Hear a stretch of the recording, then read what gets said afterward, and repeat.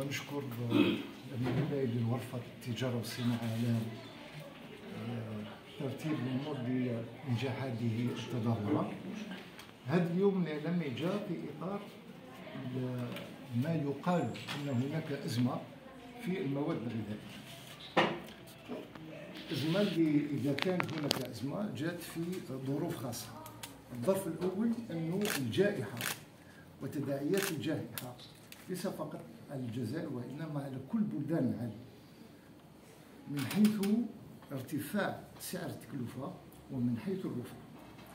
ثم مباشرة جاءت الحرب اللي ما راهيش بعيدة. راهي قريبة من الناحية الاقتصادية الاقتصادية بين بين روسيا وأوكرانيا.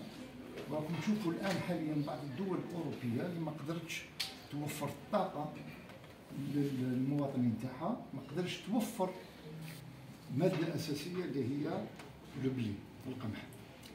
اذا ارتأت وزارة التجارة أنها تولي للمستهلك والمتعامل المجهودات الحثيثة اللي ما فتئت الدولة تقوم بها لضمان وفرة المواد الغذائية. ولربما يسعناش اليوم الوقت نتكلم على كل المواد الغذائية